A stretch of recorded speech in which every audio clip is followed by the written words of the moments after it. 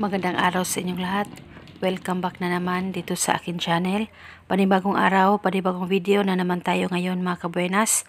May ibabahagi na naman ako sa inyo ngayon na ritual. Ito'y simpleng gabay at simpleng pamamaraan. At kung magustuhan nyo ang video na ito at kung bago sa channel ko, mag-subscribe na po at pindutin ang notification bell para palagi kayong updated sa mga bago kong videos. Kayo ba ay bihira na lang nag-uusap ng partner mo? Dahil sa marami na siyang pinagkakaabalahan.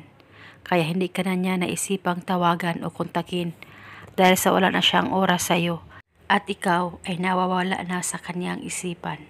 Gusto mo ba mga kabernas na ikaw ay hindi mawala sa kanyang isipan at kahit anong busy niya? Gusto mo ba mga kabernas na siya ay tatawag sa iyo agad-agad?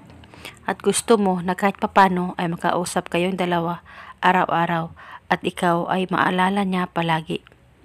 Gawin mo lamang itong ritual na tuturo ko sa inyo mga kabuenas. Ito'y napakasimple at napaka-epektibong ritual basta buo lamang ang tiwala mo sa paggawa nito. At ang dapat mong ihanda sa ritual na ito, maghanda kayo ng isang buo ng dahon ng laurel, papel at panulat kahit anong kulay. At ang gawin mo lamang dito mga kabuenas, kunin mo ang panulat at ang buo ng dahon ng laurel at isulat mo ito, pangalan at apelido niya ng isang beses.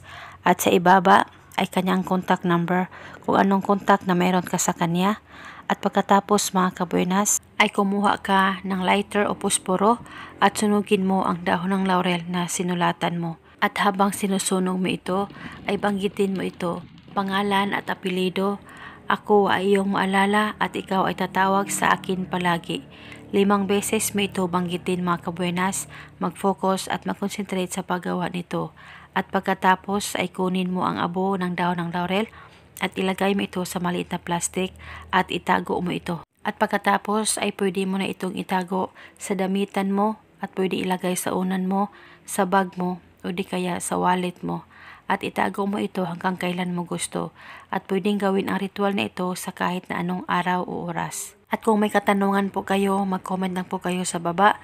At ito muna sa ngayon mga kabernas. Maraming salamat po sa panonood. Hanggang sa sunod ko pong video. May God bless us all.